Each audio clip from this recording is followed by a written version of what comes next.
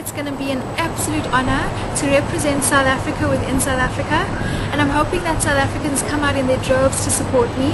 I know it's going to make a world of difference to know that 90% of the spectators are South African and they're all supporting me and I'm just hoping that that's going to give me that extra boost to take the crowd.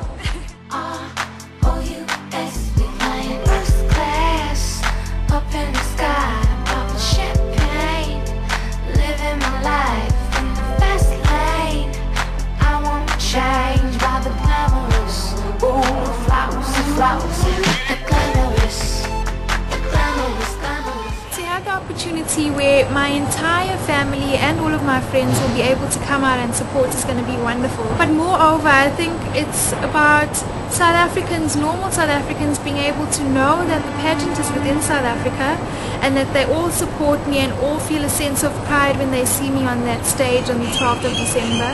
That is going to be the most special experience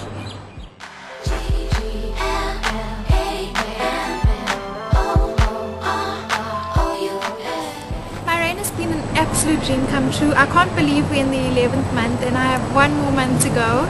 I'm very emotional about it because this year has been wonderful. Um, you know, it's been a dream come true.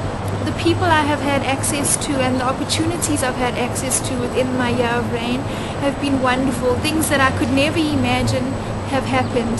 I'm also very excited for what my life holds ahead for me. Um, I'm going to make the most of all the opportunities that have been given to me thus far and I'm very excited about what next year will hold. The world really is my oyster.